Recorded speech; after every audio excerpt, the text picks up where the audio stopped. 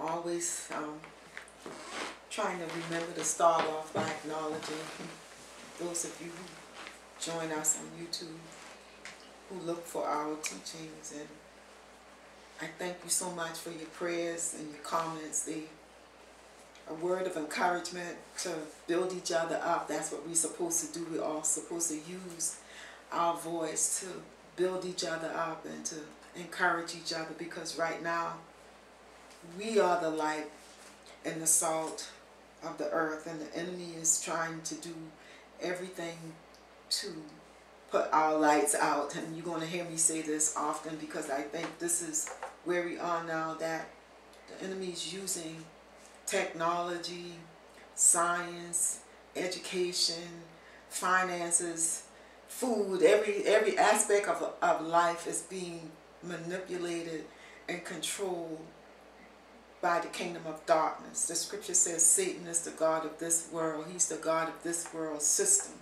And we have not understood it to the fullest, the, the, the depth of the enemy's manipulation and control over our lives.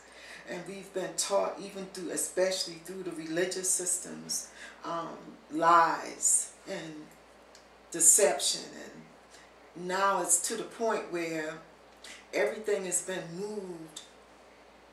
Uh, uh, so we've been socially engineered and hypnotized and a spell has been cast on humanity to move us away from any belief in the creator God. And so what I'm trying what I'm going to try to do today is encourage you to pray more often. Not just say some words, but really pray. And I've been seeing for months how important it is for us to continuously examine our hearts. So I want to start in Hebrews chapter 13. Hebrews chapter 13. My teachings is usually um, like a Bible study. I like to give you a lot of scriptures so that you will know the address of the scriptures. And what I say is not usually my opinion, but it's, it's scriptures so that you would know the scriptures for yourselves. And don't rely on me, and I, I continue to say this too because I think it's important. The enemy has used his ministers to deceive people. So and, and to and to train people to depend on a man instead of teaching uh, us to rely on the Most High for guidance, for instructions. We each have the opportunity to have a relationship with the Most High through His Holy Spirit that, that would be able to teach us, lead us, and guide us into all truth. So what has happened is if there's a couple of scriptures I'm going to show you. One is in um, Philemon or Philemon, and one is in Second John, where the people had house churches. The first century church was was in houses. The New Testament um, letters were written. They were epistles or letters written to individuals who had ministries in their homes. So you have now, what the enemy has done over the years is raised up what we know as, as mega churches. And the mega churches, to me, this is my opinion, what I'm about to say, the mega churches were Satan's churches. And what they were doing is teaching people how to walk in the flesh the scripture in Romans 8 says, There is therefore now no condemnation to those who are in Christ, who walk not after the flesh, but after the spirit. So the mega churches train people how to operate in the flesh, cater to the flesh, do as you will, do whatever you please because we're under grace and you can just say you you you sorry for what you did. But I want to encourage you today to understand that when you say to someone, I'm sorry for what I've done to you when it's wrong, that that means that you genuinely understand that you've committed a wrong and it grieves and hurt or breaks your heart that you hurt someone or you wrong someone to the point where you don't want to do anything like that again. That's what repenting repentance mean is that I recognize I did something wrong and I don't want to be guilty of doing that again because I understand the pain um, that I caused in doing that wrong. When we say we repent to God, that means we understand we violated his spiritual laws. And when you realize that you've violated the most high spiritual laws, you feel a grief in your heart. And you don't want to be guilty of doing that again because you love the Creator God. You understand that life is a gift. That every day you get the breath of life. You you grateful that you are alive. You can wake up today and say you are alive and you're in your right mind and you recognize and understand that you are alive and you have the breath of life and you're in your right mind because it's a gift from the most high. That's how you you enter into a relationship with him. You recognize every day the things he graced you with and you're grateful for those things and you want to honor him and bless him and you don't want to do anything that's going to grieve him. The scripture says, do not grieve or quench the Holy Spirit because if you continue to grieve or quench the Holy Spirit, then you become hardened to the Holy Spirit where you, you, you're not able to recognize when he's speaking to you. And that's really, really important. You heard me say, I believe it was last week, how important it is to have a close walk with the with the Holy Spirit, so that when He say, "Don't go to the left" or "Don't go to the right" or "Don't move," you are sensitive to His Spirit, His voice, because you've been living a life on purpose to try to be pleasing to the Spirit, not pleasing to your flesh. That's what Romans 8 means when it says, um, there is now no condemnation. The enemy wants you to be condemned and he wants you to do things and say things that are going to grieve the Holy Spirit and disconnect you from the Creator. And everything now I see in our life, in our life is intended to cause us to be disconnected from the, the creator God. You're so busy with all of the devices, the smartphones, the smart TVs, the smart electrical meters, Everything is surveilling and monitoring and engineering us to believe really that we are gods. And so instead of us understanding that there's only one creator God and we're supposed to be grateful to him and bow down to him, the enemy through the mega churches and the pastors of the mega churches are the influencers that's influencing us to do Satan's agenda for our lives. Am I making sense to you? Okay, so in Hebrews chapter 13, and this is important, verse 5, it says, Let your conversation or your life be without covetousness, and be content with such things as you have. For he has said, I will, this is what I brought you to this scripture because I want you to underline, I will never leave thee nor forsake thee. I will never leave thee nor forsake thee. So God is faithful to keep his word, to keep his promises. So no matter what is going on, no matter what we see, no matter what we hear, God is saying, the Most High is saying, he'll never leave us. He'll never forsake us. Let's turn to Matthew chapter 28. Matthew chapter 28. And remember those of you who stumble upon this video on YouTube that this I don't make videos to just post on YouTube that I have a small ministry in my home. And I have people who I'm talking to in my home primarily. But I'm grateful and honored for those of you who follow us on a regular basis on YouTube. So sometimes I, I'm saying that because I have to go sometimes slow than, than normal so that the people who I'm talking to directly are able to keep up with me at the time that I'm doing the teaching. In Matthew 28 and verse 20, this would be Christ speaking. And in verse 20 it says, teaching them to observe all things whatsoever I, Christ, have commanded you. But this is what I want you to see. And lo, I am with you always, even unto the end of the world or even unto the end of this age. Because we're at a point now where the enemy is trying to make an aggressive move to destroy God's creation. And the Lord doesn't want you to feel worried or be anxious or be afraid. And I also want to say that there's no place that I can think of or see on this earth where you can go and be safe. Because the enemy, the scripture already told us that Satan is the God of this world, the whole world. He's the God of this whole world. And we can see that there's things happening all over the world that that is evil.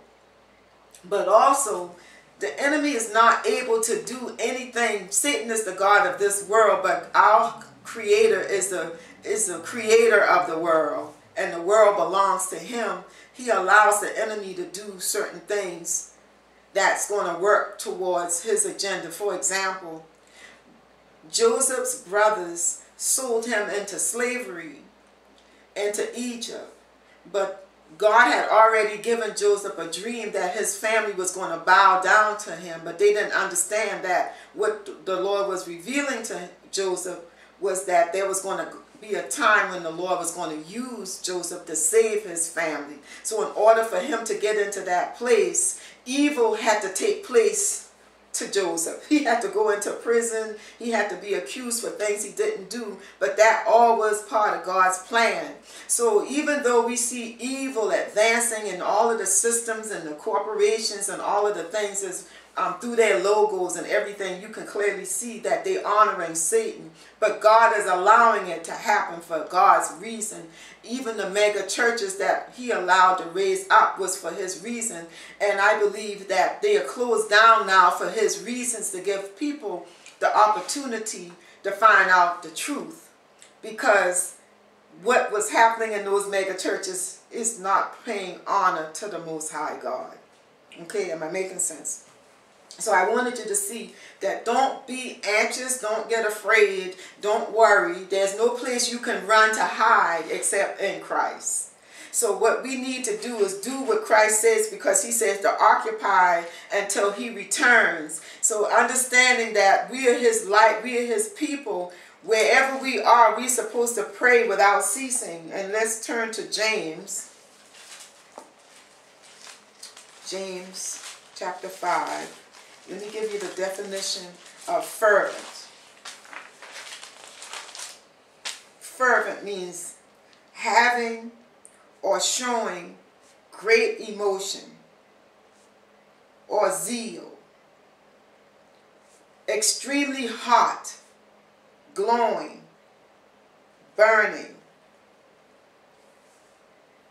A fervent plea, a heated plea that's why you hear people say you got to have your fire burning in prayer.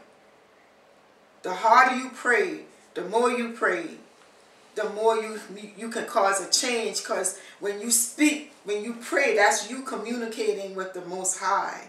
When you speak, your words have power.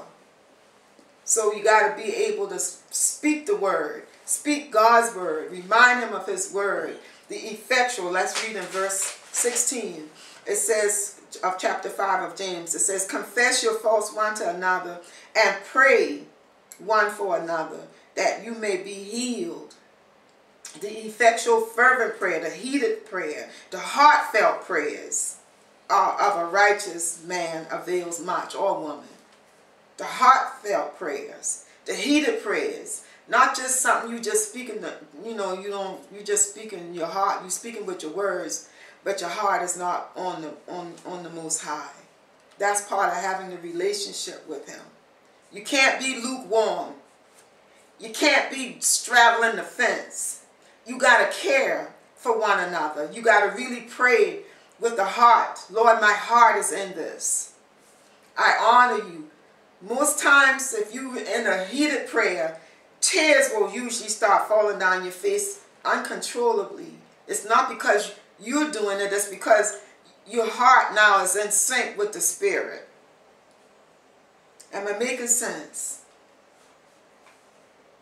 Let's go to Second Chronicles. And everybody knows these verses of Scripture, but I pray that they'll take on a different meaning to you today. God has us alive at this particular time in history to represent him. We are not here by happenstance, and we're not moving through space at a thousand miles an hour and the sun being 93 million miles away. That's just kind of stupid things they taught us in school. But when your mind is open to the Most High and He's revealing things to us in this period of time, we realize that everything we were taught, if the sun was 93 million miles away, you wouldn't be able to see it. But the enemy is doing that so that we wouldn't understand how powerful the Most High is, how much He loves us, how that He is always near us, that He will never leave us nor forsake us, that He's always close to us, so that He hears our prayers. And our prayers have power to change things, to move things. But if you believe that the sun is 93 miles away from 93 million miles away from you and that you are moving a thousand miles through space, you become insignificant in your own mind, which is a which is the strategy of the enemy to cause us to not take it serious the assignment that God has in, in giving us life. He's given us life He's purposed and chosen us to be alive at this particular time in history that we would worship him, that we would seek his face, that we would seek his heart, that we would live holy, that we would not make excuses or justify when we commit sin, that we wouldn't have a desire to commit sin. Because the scripture says when our ways please the Most High, he make our enemies to be at peace with us. But the enemy of God is trying to destroy his creation and he's never going to be at peace with us. And we need to understand that and we need to fight. We don't need to fight each other. We need to fight against principalities, powers, and rulers and spiritual wickedness in high places.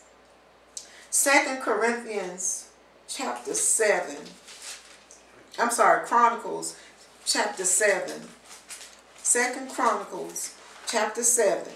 It doesn't say if heathens or if devil worshippers would pray. It says, if my people, which are called by my name, shall humble themselves and pray and seek my face you seeking mean I'm I'm gonna I'm gonna look until I find it.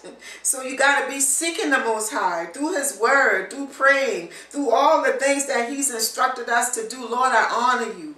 I praise you. I magnify you. I worship you. You are King of kings and Lord of lords, omnipotent Father, creator of all things. And you just got to be fervent about it. Okay? It says, and pray and seek my face and turn turn. Repent, repent means to go back to being the way it used to be. Turn from their wicked ways. Because ways of God's people today is pretty wicked. And we need to examine ourselves. It says, then will, then will I hear from heaven and forgive their sin and will heal their land. The land needs healing. There's storms and hurricanes and earthquakes and volcanic eruptions and birds dying and fish dying in the sea and all of these things the Lord said was going to happen. But it doesn't say don't pray. I mean, I understand there's a time when the scripture in Jeremiah told, the Lord told Jeremiah not to pray for the people. But the Lord is telling us in James that our prayers can avail. And if you understand that there's no place where we can go to be safe from the, from the evil, then it's on us to pray for where we are. Pray. Pray God's will into the earth. Pray for forgiveness for our sins. Pray because God says he doesn't want anyone to perish. But when people don't respond to you the way you think that they should respond because the scripture says some plant, some water, but only God can give the increase. Don't lose heart. Just keep praying. As long as we have breath, we should continue to pray. But let's turn to 1 Corinthians chapter 2. 1 Corinthians chapter 2. And I'm going to read most of this um, chapter.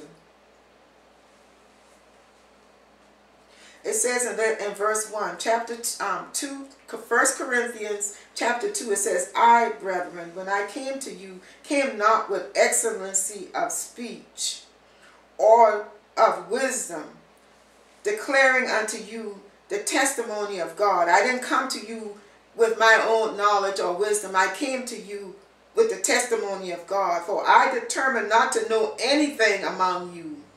That should be the testimony of those who's representing God. We should be pointing you towards him, not towards any wisdom or I'm smart or I'm better or I'm got anything more going on with me greater than you. It says, For I determined not to know anything among you save Jesus Christ and him crucified. And I was with you in weakness and in fear and in much trembling. And my speech and my preaching was not with enticing words of man's wisdom. You see, this we need to go back to this. But in demonstration of the Holy Spirit and of power. Because no matter how smart you are, if you don't have the Holy Spirit working through you, you're not going to be able to achieve or accomplish anything of any value. Okay? It says that your faith should not stand in the wisdom of men, but in the power of the Most High. Howbeit we speak wisdom among them that are perfect, yet not the wisdom of this world, nor of the prince of this world that come to naught. See, the wisdom of the prince of this world has no power. It's going to end with nothing, no benefits. But we speak the wisdom of God in a mystery, even the hidden wisdom which God ordained before the world unto our glory which none of the princes of this world knew. For had they known that they would not have crucified the Lord of glory. But as it is written, this is what we need to take into our hearts deeply. Eye has not seen, nor ear heard, nor has it entered into the heart of man the things which God has prepared, hallelujah, for them that love him. There's things that God has prepared for the people who love him that we are not able to comprehend or understand. But God has revealed them unto us by his Spirit, the Holy Spirit. It's the Holy Spirit that is able to help those who believe, who is sanctified and separated and who's not walking after the flesh but after the Spirit. For the Spirit searches all things yea, the deep things of God. For what man knows, the things of a man, save the spirit of man which is in him, even so the things of God knows no man but the spirit of God. I had someone share with me how they had talked for hours to different people who they cared about, how important it is to be careful how you take a particular thing into your flesh, if you know what I'm saying. And the people who the person spoke to said, yeah, they understood what she was saying, and they went right on and did what they said they understood not to do. And so this scripture, when I was speaking to the person, came to my heart because it says, I'm going to read verse 11 again. It says, For what man knows the things of a man, save the spirit of man which is in him? Even so the things of God knows no man but the spirit of God. Now we have received not the spirit of the world. Those of us who have a relationship with God, we have not received the spirit of the world but the spirit which of which is of God, that we might know the things that are freely given to us of God, which things also we speak, not in the words which man's wisdom teaches, but which the Holy Ghost teaches, comparing spiritual things with spiritual. But the natural man, see, if you're not in Christ, if you not have a relationship with the Holy Spirit or the Holy Spirit is in you, the natural man receives not the things of the Holy Spirit of God, for they are foolishness. You see, the enemy have people so brainwashed that you, if you're not in a relationship with the Most High, you're not able to discern spiritual things. So it says of verse 14, the natural man receives not the things of the Spirit of God, for they are foolishness unto him. Neither can he know them because they are spiritually discerned. But he that is spiritual judges all things, yet he himself is judged of no man. For who has known the mind of the Lord that he may instruct him? But we have the mind of Christ. If you belong to Christ, it says in um, Corinthians chapter 5, then you you have the mind of Christ. You belong to him. You see, if you don't have the mind of Christ, you're not going to be able to discern spiritual things. So spiritual things would be foolishness to those who don't have the mind of Christ, those who don't have the spirit of Christ. And that's what we see taking place all over the world. People buying into the influencers. The influencers are able to influence people to receive and and and and walk in the way of the antichrist and the antichrist's agenda for humanity. And i pray that i'm making sense to you today. So the scriptures that i was going to share with you let's turn to philemon. Philemon is next to titus Titus, Timothy, Philemon chapter 1. It's only one chapter. But I just want to show you this. Verse 1. It says, Paul, a prisoner of Jesus Christ, and Timothy, our brother, unto Philemon, our dearly beloved and fellow laborer, and to our beloved Apphia, and Archippus, our fellow soldier, and to the church in thy house. The church was in, in his house, or her house, because he was naming each of these individual people. And Apphia is a female. One translation says, my beloved sister Apphia. Now let's turn to Second John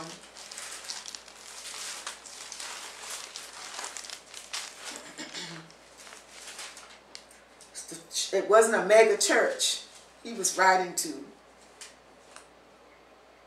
He was writing to a person who had their ministry in a house. Now let's second John verse 1. We're going to read most we're going to read a good bit of this chapter, or maybe all of it. It says, The elder unto the elect lady. So he was writing to a lady and her children, whom I love in the truth, and not I only, but also all they that have known the truth for the truth's sake, which dwells in us and shall be with us forever. Remember in first, um, John chapter 1, it says, The truth is Christ. Grace be with you, mercy and peace from God the Father and from the Lord Jesus Christ, the Son of the Father, in truth and love. I rejoice greatly that I found of thy children walking in truth, as we have received a commandment from the Father. And now I beseech thee, lady, not as though I wrote a new commandment unto thee, but that which we had from the beginning, that we love one another. And this is love, that we walk after the commandment. This is this is the commandment that as you have heard from the beginning, you should walk in it. For many deceivers are entered into the world who confess not that Jesus Christ is come in the flesh. This is a deceiver and antichrist. Look to yourselves that we lose not those things which we have wrought, but that we receive a full reward. Whosoever transgresses and abides not in the doctrine of Christ has not God. He that abides in the doctrine of Christ, he has both the Father and the Son. If this, I brought you said all of that to bring you to this verse. It says, If there come any unto you and bring not this doctrine, receive him not into your house. Don't let them come into your house. It's a lady he's talking to. She's somebody who teaches her children. She has a ministry. It says, Neither bid him Godspeed, for he that bids him Godspeed is partaker of his evil deeds. You see? If you believe the scriptures are God breathed, this is telling you not to allow anyone who doesn't believe in Christ as the Son of God into your house or into the house of the person whose ministry he was writing this letter to. Am I making sense? Let's turn to Revelation. Revelation chapter 3.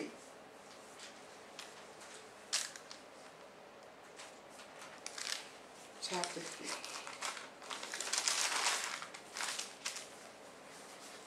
So I, the Lord does not want us to be afraid. He has us alive at this particular time in history that we would pray and we would pray his will into the earth and that we would be in relationship with him to know what his will is. We know that he wants us to be set apart or sanctified. He wants us to be holy as he is holy. He wants us to love each other encourage each other, build each other up, to not allow fear to take control over us. Because we are the antidote for the evil that we see is taking place in the earth because we are the temple of God. He lives on the inside of us. He said he would never leave us nor forsake us. Nothing can separate us from his love. So if we believe that, we have to be bold in our prayer and be fervent in our prayer. That we should pray without ceasing. And this is where I'm I'm getting ready to take you, that he doesn't want anyone to perish. But when he knocks at your door to come into fellowship with you, do you hear him? Is your heart so hardened because you've so embraced the doctrines of devils that you don't even hear him anymore telling you to come out of her and be ye separate? Verse 19. It says, As many as, this is Christ speaking, as many as I love, I rebuke and chasten. Be zealous, heeded, therefore, and repent. Behold, I stand at the door of your heart and knock. If any man hear my voice and open the door of your heart, he's saying, I will come in because you are the house. You are a house. You you you you can you can house evil or you can house the spirit of the living God.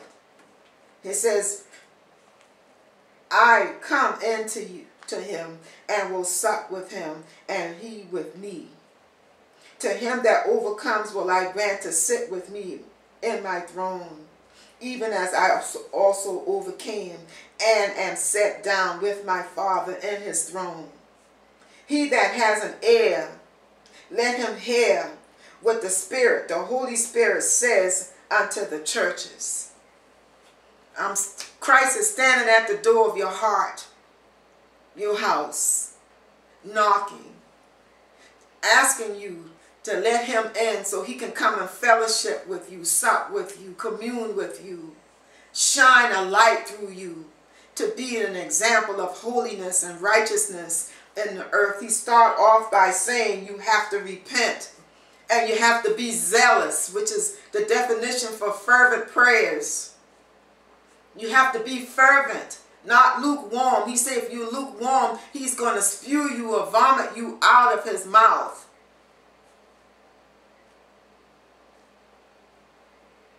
No one too much wants to hear these types of teaching anymore because everything is about how you can be rich, how you can be successful. But your life is but a vapor. You're only going to be in this flesh, in this tent for a limited period of time, but eternity is forever. And how you live in this tent is going to determine how you spend your eternity. And with that in mind, like I said in last week, and Peter says, understanding all of these things, what kind of person are you ought to be? How should you live?